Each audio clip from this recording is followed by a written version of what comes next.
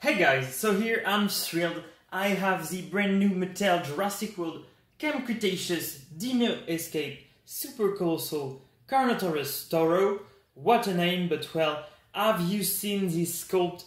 It's, it's probably, I mean, the best Carnotaurus we've ever seen.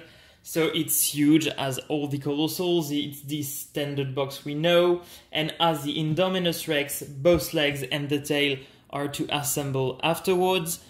So, um, we have the brand new um, theme with the uh, fences, jungle from Dino Escape, but of course you can't see it because it's so massive, you don't really see. You still have the small hands like on this one. It's actually very close of the original 2018 Carnotaurus. So if we take a closer look at the box, you can see more infos, but mostly the size, like one meter. It can also eight mini dinosaurs, and you can actually see the upcoming wave of minis, so that's really cool.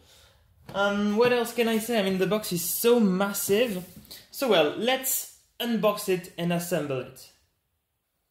Okay, so here it is. We have the typical assembly to do, as I was saying. So first of all, we have the tail. Okay, like that. Here we go. Then we have first leg here.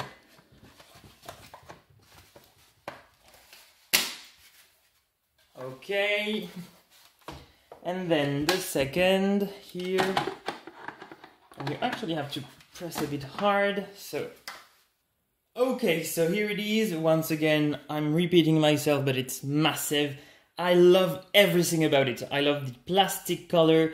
I love the uh, brown painting it has on its back. I love the sculpt on the head. I mean, look at that. I think it's the first Toro we have with a beautiful sculpt of the scar. You can see the flesh under. Of course, as on all Colossal, you can rotate the rotate open at least the jaw and the skull to have a wider angle. Once again, look at the scales. It's magnificent. One thing that I love is that you have a neck articulation. You can also rotate the arms with the tiny hands. You can rotate both legs and of course both feet, even if it's not super useful. And then you can move the tail from side to side and even rotate it just there. So quite possible for a figure of this size and this weight. Of course, you can open under to get your mini dinosaurs back if you want them to be eaten by the colossal. And on the other side, you can see, I mean, look at that. The details are really amazing. Honestly, I think that in terms of sculpt, it's the best colossal. Maybe the Indominus is at the top as well, but this one is amazing.